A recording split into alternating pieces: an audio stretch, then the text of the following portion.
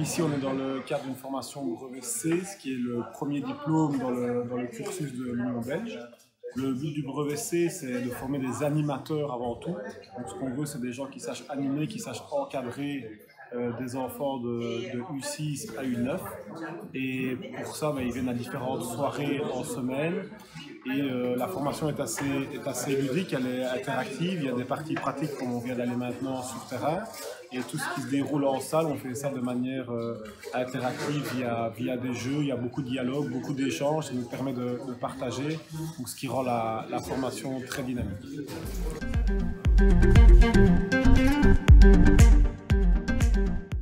J'ai choisi la formule euh, classique et pas euh, la formule entre filles parce que je me suis dit, ben déjà, euh, dans mon club, je suis pas la seule, enfin, je suis une coach, mais il y a aussi des coachs masculins.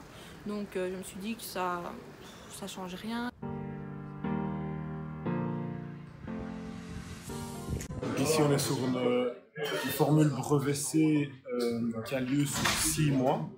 Euh, à savoir que ce n'est pas la même que la formule brevet formule vacances. Donc pour les gens qui savent euh, se, libérer une semaine, les enseignants ou ceux qui ont, pu s'organiser, cette formule est possible aussi sur une semaine. C'est très condensé, c'est des journées plus lourdes, euh, mais ça permet, ça permet aux gens qui n'ont pas l'occasion de venir tous les lundis soirs de pouvoir obtenir ce diplôme via une formule accélérée.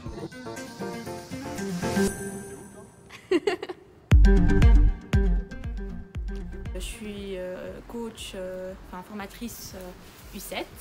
J'ai choisi de faire la formation brevet C pour pouvoir euh, me perfectionner et pour, euh, qui sait, plus tard, continuer dans le monde du football et monter en catégorie plus haute.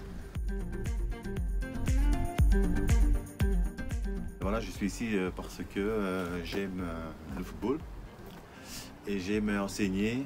J'étais footballeur, joué euh, une quarantaine d'années au football et je fais ça pour enseigner euh, aux gamins et d'apprendre mon savoir-faire. qui ont très difficile chez eux, on ne connaît pas leur passé, qui arrivent peut-être au foot, c'est peut-être leur quart, leur ennemi, où il va respirer.